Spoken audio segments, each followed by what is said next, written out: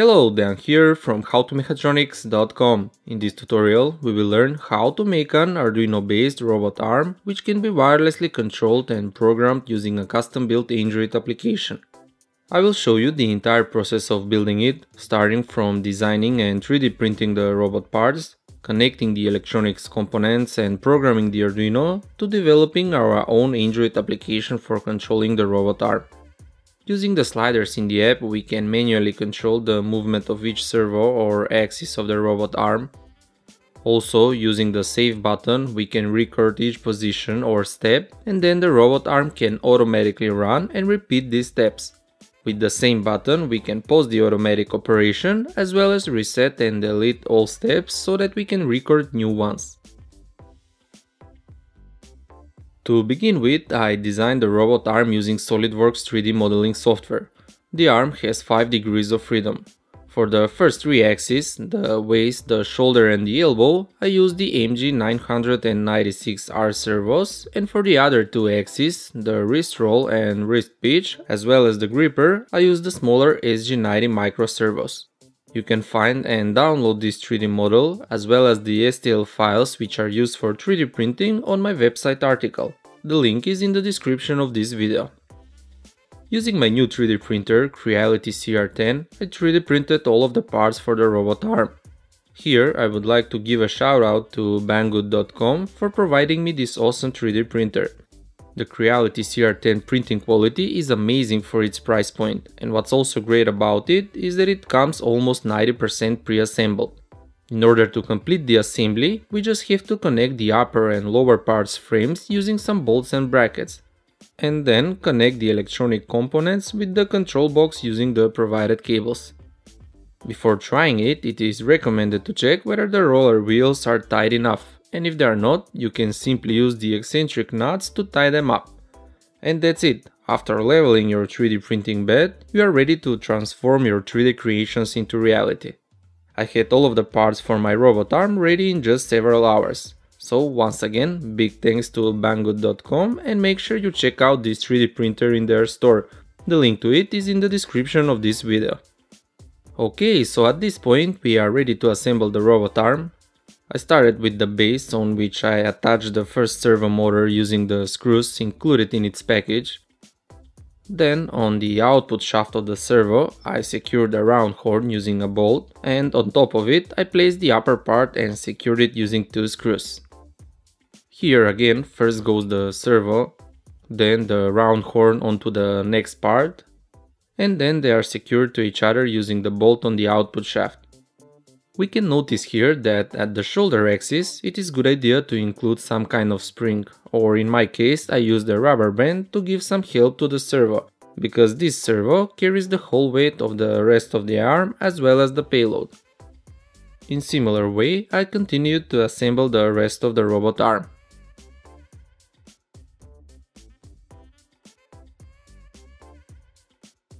As for the gripper mechanism, I use 4mm bolts and nuts to assemble it. Finally, I attached the gripper mechanism onto the last servo and the robot arm was completed. The next stage is connecting the electronics. The circuit diagram of this project is actually quite simple.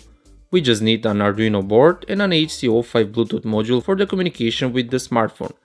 The control pins of the 6 servo motors are connected to 6 digital pins of the Arduino board for powering the servos we need 5 volts, but this must comes from an external power source because the Arduino is not able to handle the amount of current that all of them can draw.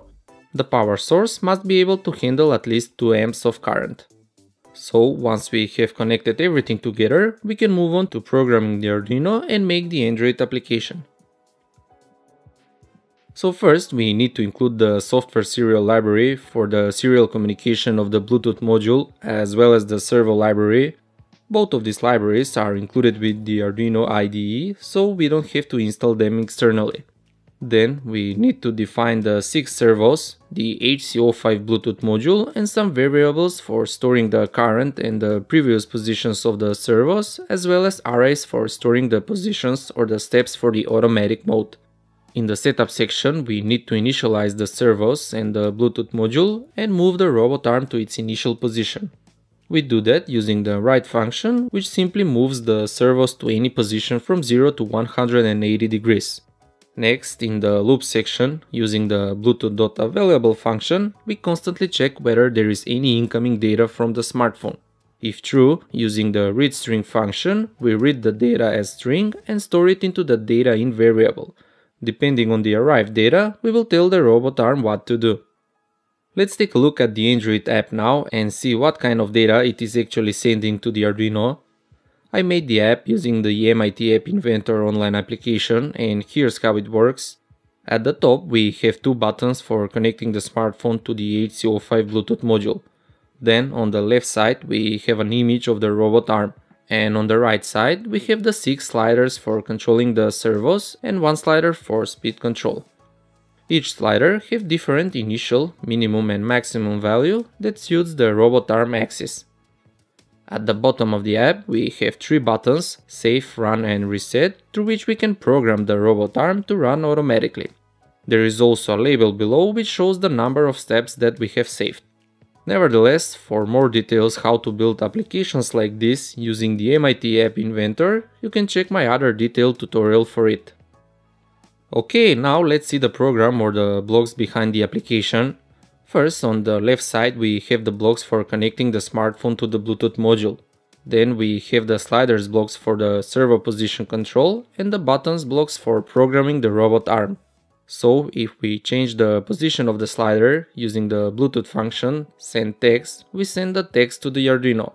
This text consists of a prefix which indicates which slider has been changed, as well as the current value of the slider.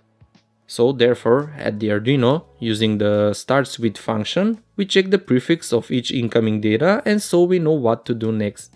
For example, if the prefix is S1, we know that we need to move the servo number 1. Using the substring function, we get the remaining text, or that's the position value. We convert it into integer and use the value to move the servo to that position. Here we can simply call the write function and the servo will go to that position. But in that way, the servo would run at its maximum speed, which is too much for the robot arm. Instead, we need to control the speed of the servo, so I used some for loops in order to gradually move the servo from the previous to the current position by implementing a delay time between each iteration. By changing the delay time, we can change the speed of the servo. The same method is used for driving all of the axes of the robot arm. Below them is the save button. If we press the save button, the position of each servo motor is stored in an array. With each pressing, the index increases, so the array is filled step by step. Then, if we press the run button, we call the run servo custom function which runs the stored steps. Let's take a look at this function. So here we run the stored steps over and over again until we press the reset button. Using the for loop, we run through all positions stored in the arrays and at the same time we check whether we have any incoming data from the smartphone. This data can be the run or pause button, which pauses the robot, and if clicked again, it continues with the automatic movements. Also, if we change the speed slider position, we will use that value to change the delay time between each iteration in the for loops below, which actually controls the speed of the servo motors. In similar way as explained earlier, with these if statements and for loops, we move the servos to their next position. Finally, if we press the reset button, we will clear all the data from the arrays to 0 and also reset the index to 0 so we can program the robot arm with new movements. And that's it, now we can enjoy and have some fun with the robot arm. I hope you liked this video and learned something new. Don't forget to subscribe and for more tutorials and projects visit howtomechatronics.com.